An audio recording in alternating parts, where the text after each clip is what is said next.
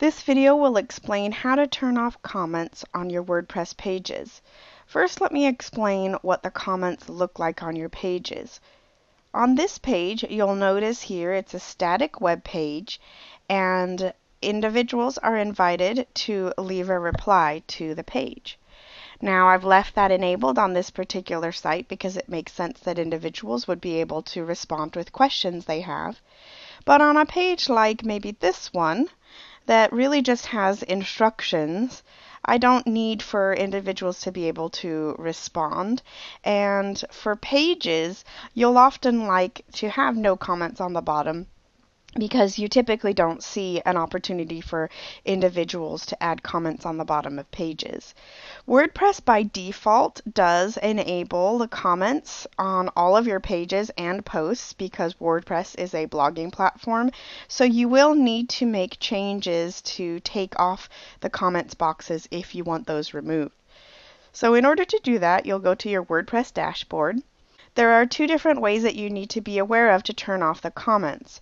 First, you can turn off comments on a page by page basis, and you can turn off comments on pages that are already created. So you'll go to your dashboard and click on Pages. This will show you all of the pages you've created in your dashboard. And to turn off those comments, you'll simply hover over the page name. You'll click Quick Edit and then you uncheck the box that says Allow Comments. That in turn will remove the comment functionality from that page. You'll say Update, and then when you look at that page, you'll see that there is no option anymore to comment. So that's for changing existing pages. Now, if you would like to change the settings so that any new pages or posts that are created, you do not want there to be comments, I will explain now how to do that. From your WordPress dashboard, you will go to Settings, then you will click on Discussion, and up here you will check off the box that says Allow people to post comments on new articles.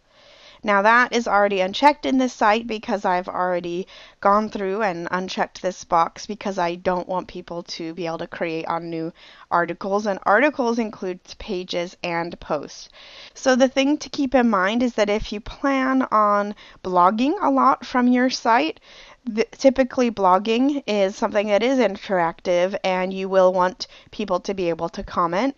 So you might leave that box checked so that people can comment, but as you create pages within your site, that's where you go ahead and use the quick edit function and edit each page as you would like to allow the comments.